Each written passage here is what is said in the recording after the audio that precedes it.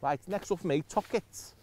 So something that you might think nice, basic, plain and easy, but so I've definitely been on the stubborn bandwagon when it comes to top kits. In that now, when it comes to commercial fishing, you've got choices at the length of top kit you have. I mean, most companies now do a short and a long top kit, and there's definitely applications now when using the right one in the right situation, so it can definitely be a, a huge advantage. So for me, most of the time, I'm, I'm definitely still in in the long top kit fan. I like using long top kits because it gives me plenty of elastic.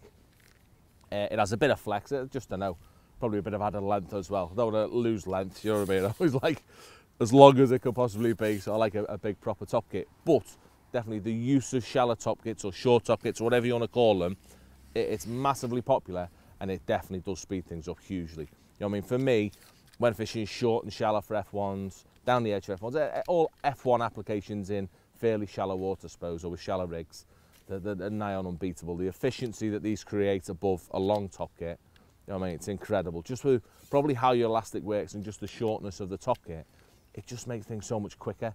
I mean, you ship in, the fish pop up so much closer to you because you've got that reduced top kit length.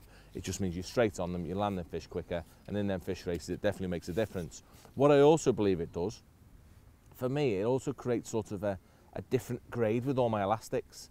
Like in, uh, not so much in this case, with my, my green elastic, I'm a massive fan of green slick, but I find that in a long top kit, once I get to sort of some point in March when the fish start feeding, I find that green's almost too stretchy. But I love how soft it is when I first hook a fish because it makes them behave. Uh, by swapping to it in a short kit, I'm probably using what? Yeah, I'm probably using not far off half the length of elastic when I go to a short kit.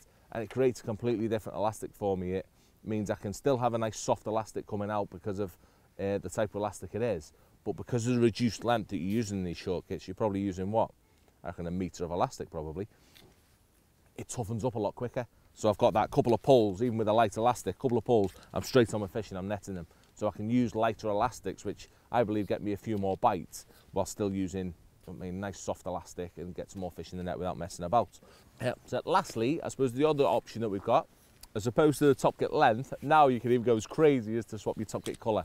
And so for me, don't know about this one yet, I'm a bit funny when it comes to our white kits, whether it makes a difference or not, I don't know. You know what I mean? As soon as I get beat by someone on the next bed with white kits and I think that was the reason, I'll be swapping. But if it does anything for your confidence and you believe you're going to catch more fish when fishing shallow, fishing down the edge, mugging, do you know I mean? Why not? I mean, same as additives, anything that brings confidence to your fishing, I mean, I'm a massive fan of. And say for me, maybe one day we'll have a little play with the top kits, but uh, with the white top kits.